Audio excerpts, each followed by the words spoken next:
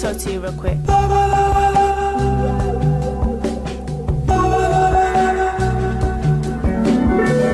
lost myself in the marijuana smoke three days ago. I've been searching for her ever since. And if you find her, I suggest that you direct her to my residence. Got some matters to discuss, cause I'm the only one I trust.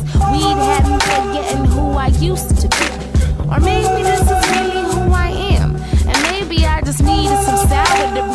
Possible, but I doubt that's the case. My biggest debate don't come around with that Reggie Bush, cause this bitch is exotic. If you can't afford that dope shit, then I suggest that you stop it. Break it up, then roll it up, and then it's time to smoke it. I'ma pass to my niggas, and in three minutes we floating. Don't own it, but I smoke it. I guess that I'm a freeloader, but fuck it, cause they just my friends until the weed over. And I said that this would be my last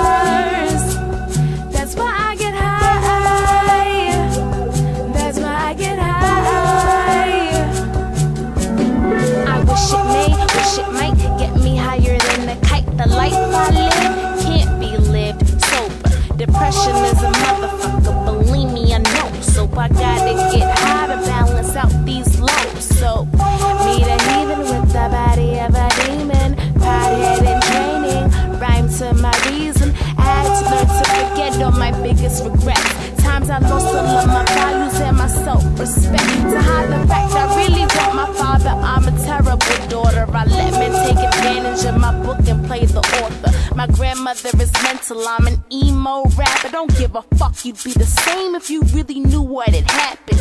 Flashbacks see me in a cold sweat. Only thing harder than remembering is learning to forget.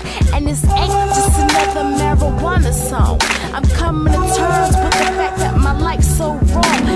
shame for me in another lane of its own. Niggas promise that they leave her. We both know that they won't. More than a high, a medicine and cure. The reason I could keep, keep on. Yeah. They told me that I should reach for the stars. That's why I get high.